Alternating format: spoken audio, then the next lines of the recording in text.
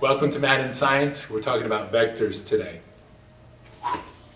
That was close. Vectors in physics are a quantity that has both magnitude and direction. Go by the name of vector. It's a mathematical term, a quantity represented by an arrow with both direction and magnitude. Vector, over. What? Flight 209er clear for vector 324. We have clearance, Clarence. Roger, Roger. What's our vector, Victor? Vectors are everywhere. You can see them in football, the NFL, with pursuit angle. You see it in hockey. You can see it in movies all the time.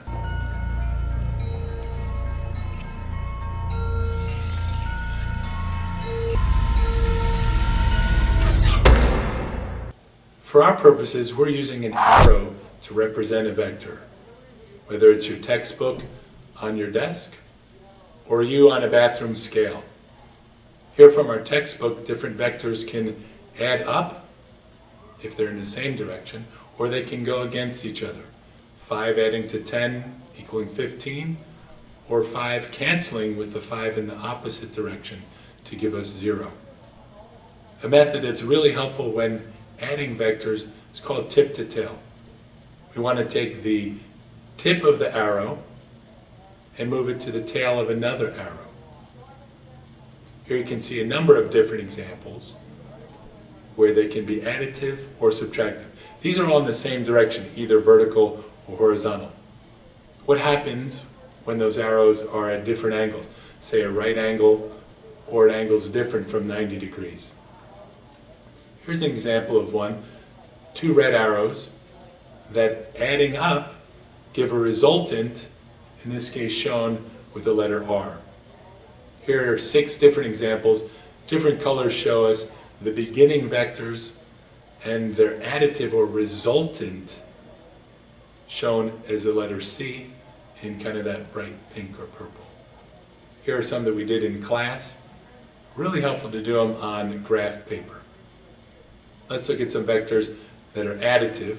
If you had a six unit blue arrow added to a four unit red arrow, you'd get 10. If you had six in one direction, but now the four vector is in opposite direction, your answer would end up with two, in this case green, in the direction of blue. How about these two arrows? Six blue, four red can move tip to tail for a green resultant. Think back to what we did in class with our different resultants using the Pythagorean theorem here to get hypotenuse of 5. Here four different vectors adding up to get a southwestern arrow. Back to our example of blue and red. We can move one arrow tip to tail over to the side, get a green resultant, but how do we figure out how big that is? Might be helpful to redraw that triangle, side 4 and side 6. The Pythagorean theorem tells us a squared plus b squared equals c squared. Plug in our values so we get 16 plus 36 is c squared. Take the square root of 52 and you get 7.2 as our answer. This works even when you're not on graph paper and with unknown values. You got red, green, blue, purple, and orange.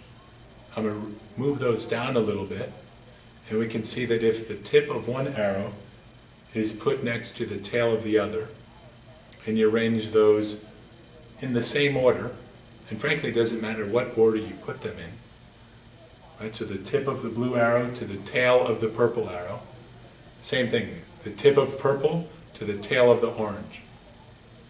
And then you draw your resultant from the beginning to the end. That's all for now. Let me know if you've got any questions.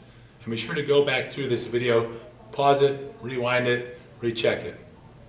Take care.